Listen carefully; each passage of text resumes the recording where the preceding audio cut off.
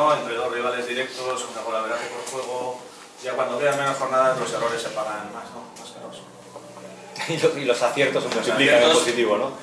Yo siempre me gusta ver la, la vertiente positiva, pero evidentemente es un partido con dos equipos, eh, pues como hemos estado toda la temporada, ¿no? Arriba de la clasificación, dos equipos de poder a poder, dos buenos equipos, un ambiente que creo que va a estar eh, como en, en sus mejores momentos y, y un partido que hay que estar, pues en ese sentido, hacer un partido muy, muy, muy, con- muy eh, competitivo, muy atentos, muy concentrados y que, como puede ser la tónica, si durante la temporada sucede, en el final del tramo final de temporada todavía más, pues como nos pasó el otro día, ¿no? un detalle pues puede ser el que, el que decante la balanza a favor o en, o en contra. ¿no? Entonces, en ese sentido, hay que, ya te digo, hay que jugar muy concentrados, con mucha confianza, con mucha personalidad y también es un partido para disfrutar compitiendo. ¿no?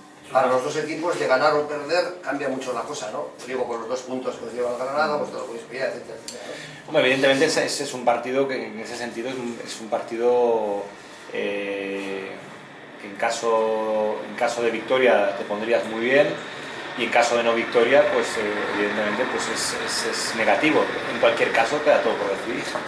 Son ocho jornadas, eh, nueve con la de mañana y, y en ese sentido queremos ganar, evidentemente, queremos volver a sentirnos pues con el volver a sentir el sabor de la victoria, volver a, seguir compitiendo en esta en este tío vivo emocional que es esta Liga 1-2-3, porque al final es, es una categoría donde, donde cada semana eh, parece como que, que- que si ganas se multiplica tu crédito, si pierdes se divide o se, o se resta mucho tu crédito, entonces al final como equipo tenemos que estar firmes, serenos, hacer nuestro camino y, y creo que pues creer en nosotros mismos, ¿no? ahora más que nunca.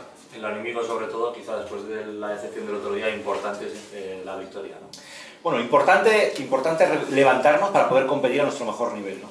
Eso es lo más importante, porque de verdad estamos hablando demasiado de, de las consecuencias, estamos hablando demasiado toda la temporada del final, estamos hablando demasiado... Lo que importa es el día a día.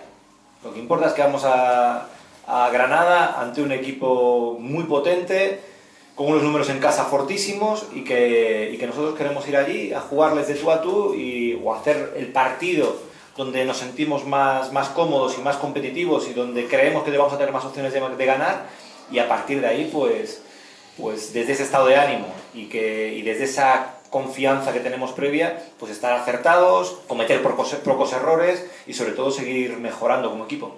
¿Cómo le interesaría a Osasuna que fuera ese partido? Para jugar cómodo. Cerrado, trabado, abierto.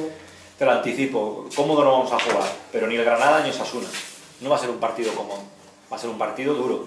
En cuanto a, a la exigencia me refiero, no me refiero, me refiero a la exigencia, a la- al, al- al que hay que estar muy atento, a que, a, que, a que un despiste puede marcar la diferencia a favor o en contra, a que tienes que estar muy eficaz, a un campo amplio que, que tienes que estar con, con el espacio muy bien repartido y con las líneas muy juntas, elegir bien que ellos no tengan opciones para correr, que sus jugadores de buen pie, como Montoro, como Espinosa, como la gente de banda, que son rápidas, como, como Puertas, José Lu, Pedro, eh, Agra, si llega, toda esta gente pues son jugadores con, con, además de muy buen nivel técnico, con, con una velocidad importante, ¿no? Un público entregado. Bueno, pues todos esos ingredientes eh, son los que nos vamos a encontrar y nosotros estamos preparados para afrontarlo y para, y para superarlo y para ganar el partido, evidentemente, que es lo que queremos.